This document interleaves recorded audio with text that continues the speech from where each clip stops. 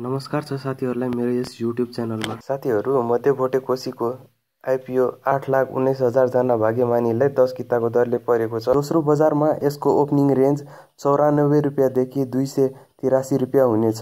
सुरुका केही दिन सर्किटका सर्किट लागेर सेकेन्ड्री मार्केटमा यसको मूल्य सात सयदेखि आठ सय रुपियाँ पुग्ला। कहिले बेच्ने त तपाईँहरूलाई पनि यो जिज्ञासा लाग्न सक्छ होला। आइपिओ बेच्ने सबभन्दा सही समय। सुरुका केही दिन सर्किटका सर्किट लागिसकेपछि पहिलो कर करेक्सन आइसकेपछि तपाईँ बेच्न सक्नुहुन्छ। यसका लागि तपाईँ नेप्से अल्फामा गएर अल्फा चार्टमा गएर टेक्निकल एनालाइज सिलेक्ट गर्नुहोला। अनि सर्च बारमा गएर मध्य भोटेकोसी सेलेक्ट गरेर डेली तपाईँ तिन बजेपछि यहाँ लाइभ अपडेट हेर्न सक्नुहुनेछ। साथीहरू यो फ्री वेबसाइट भएकोले लाइभ हेर्न मिल्दैन।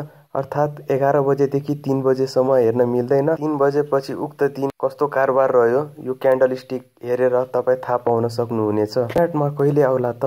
यो साताको अन्तिम कारोबार दिनसम्म यो डिम्याटमा आउनेछ र दोस्रो बजारमा अर्को साताको पहिलो दिन अथवा दोस्रो दिनदेखि दोस्रो बजारमा कारोबार सुरु हुनेछ।